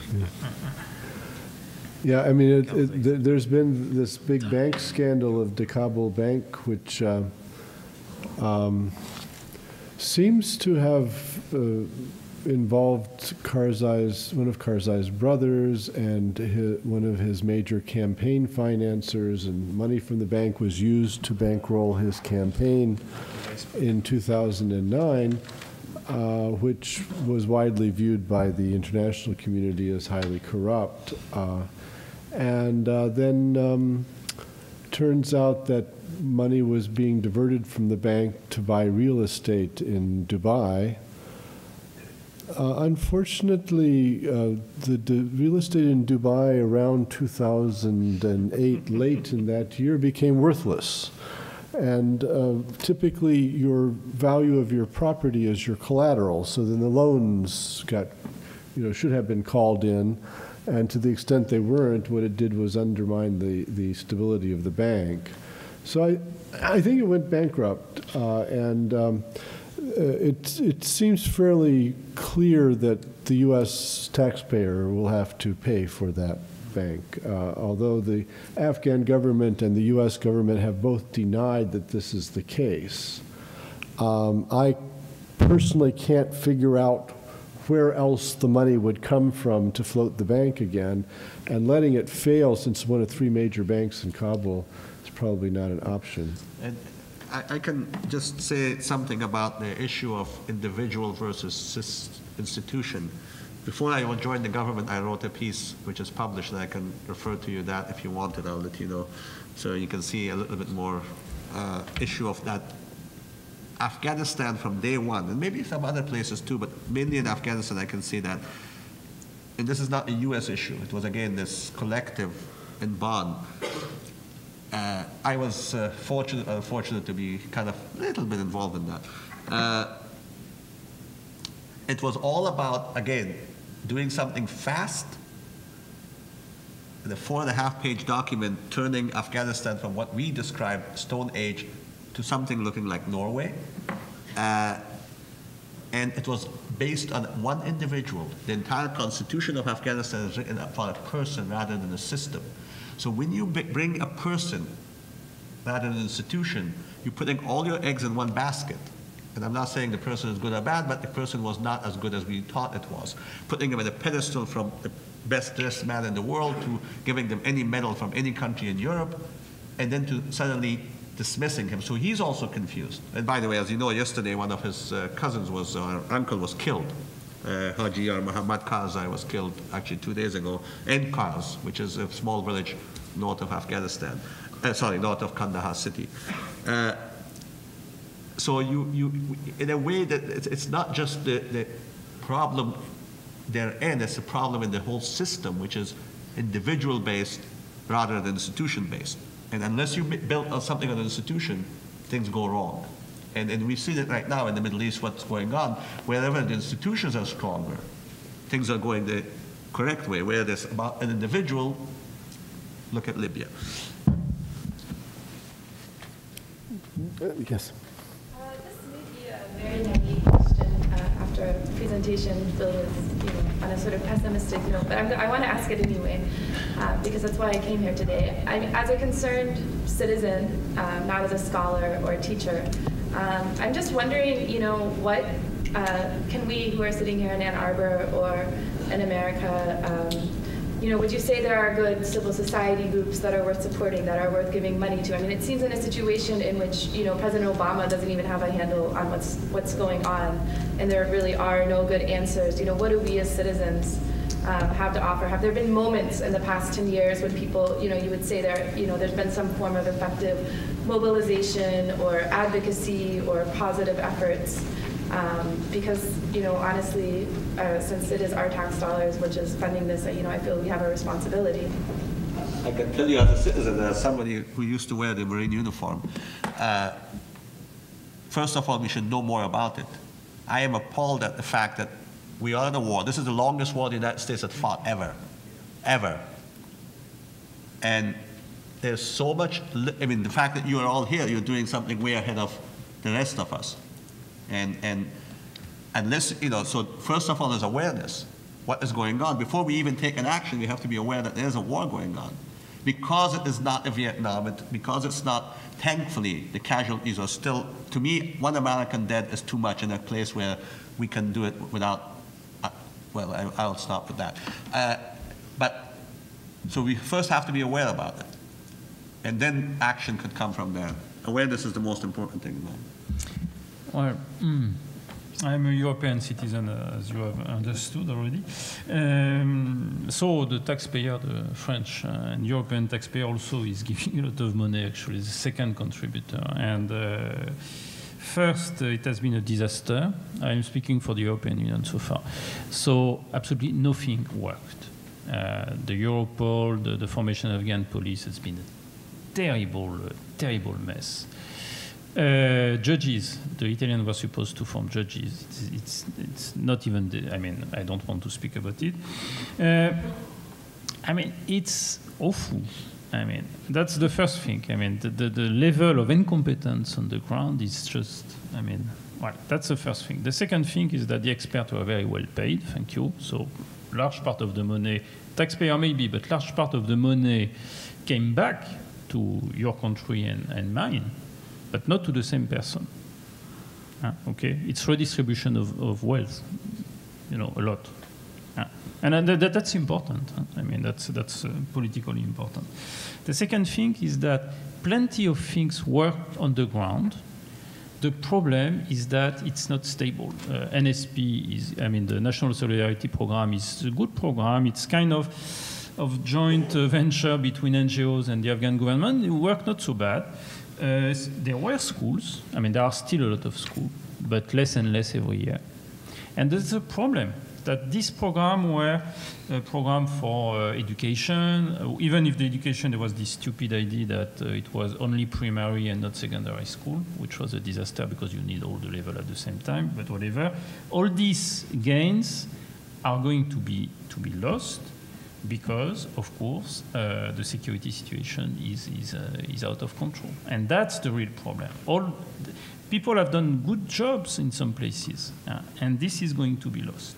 And the third thing I would say right now, the priority I see, but maybe priority I see is to have the, the so-called civil society, I mean all these people, to work together to be part of what's going to happen next. I, they should not trust us uh, in the future. They should take their, their, their, they should take the money first. They should organize themselves because in the future they will have probably to deal with the Taliban uh, in Kabul, uh, in a government of coalition.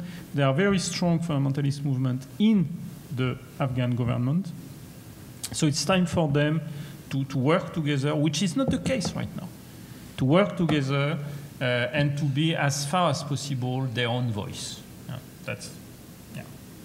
And I would just echo the, the first point about more engagement. Um, yeah. The fact that we're all fighting this war and having a good time, and we'll let you know how it goes. I don't think it's healthy either for the Republic or for us in the military, just sitting and, and we basically live in an echo chamber amongst ourselves. Um, that's specifically why I volunteered to come to something like this because I don't think there's enough of it going on. Yeah. That's I. I mean, I I travel when I'm asked if I have time to go and, and bring it out. It's not, you know, it's nothing else. That's it. I feel it as a, as a citizen that, that we have to do this thing. We have to bring it, and not criticism, debate, thinking that there is a war going on. And as, as Gilles just said, I mean, women's rights, a great gain. Does it matter? Does it not matter? Is it moral issue? It's not. It's going to go right out the window. I mean, first thing, he's right. Every African government that wants to show his machoism, the easiest thing is just usurp the woman's rights. It makes you like feel like a big guy. And is it good or bad? Is it strategically important for us? That's another question. But there's a moral issue. So those are all the issues that to be debated. Uh, and, and that's just the beginning of it. Then we can find out what's more important. So. It's 5% of the information in the United States is, uh, is about Afghanistan, 5%. Longest Of the war. news report, you're Yeah. saying? In the news report. Longest yeah, war 5%. ever in the history of Oh, our I think country. that's high. But That's high. That's- I that's run- a little I bit run a large. blog on Middle Eastern affairs, and uh, occasionally I'll, I'll do an entry on something in Afghanistan. I'll try and read the Persian press online or get some information about something that happened. And uh, I can track uh, through Google Ag- Analytics my, my hits. And whenever I do Afghanistan, they go down. Nobody interested. I might as well print it out, take it in my garden, and bury it. Uh, it's bizarre.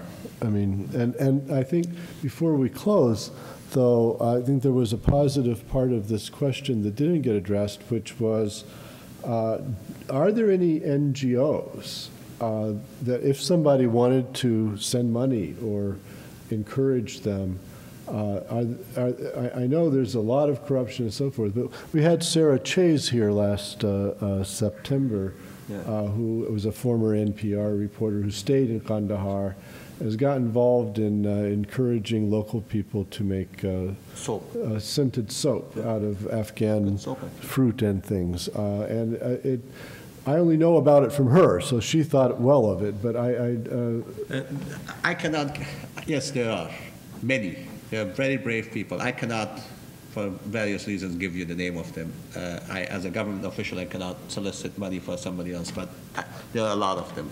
No, you cannot do that. No, Well, uh, no, okay, I'm not going to. I would say, uh, to more general, that I can, you know, uh, is that uh, there, there are a series of criteria you should uh, you should use when uh, when you decide to give money or not.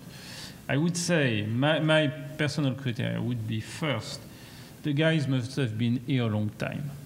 Yeah.